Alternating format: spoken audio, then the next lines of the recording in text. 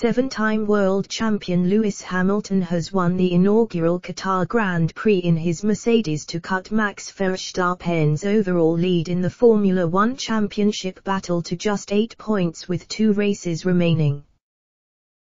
Red Bull's Verstappen was second on Sunday, after starting seventh following a five-place grid drop for failing to respect warning flags in Saturday's qualifying but he earned a potentially crucial bonus point for fastest lap.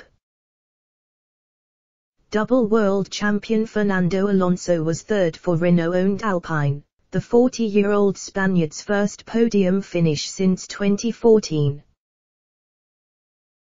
Yet it was another frustrating afternoon for Australian Daniel Ricciardo, who missed out on the points again with his 12th place finish in his McLaren. It was pretty straightforward, it was pretty lonely at the front said Hamilton, who led from pole position and was never challenged over the 57 laps of the floodlit night race. Of course, I enjoy those races where you're battling through, but we needed those points today, so I think a real solid job from the team.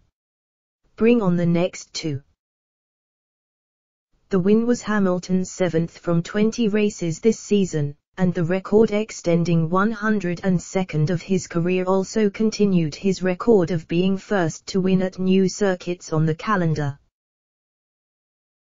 Verstappen, who has nine wins this year, carried out another solid piece of damage limitation as Red Bull cut Mercedes' lead in the constructors' standings from 11 to 5 points.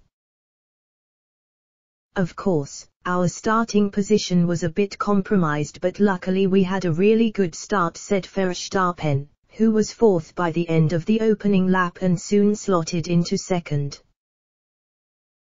I know it's going to be difficult but that keeps it exciting.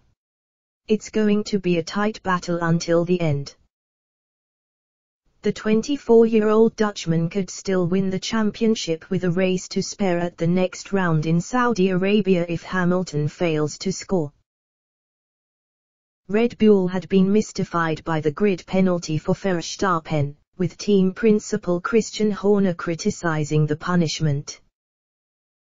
However, he was given an official warning for suggesting a rogue marshal was to blame the Briton apologized and also agreed to participate in an international stewards program next February.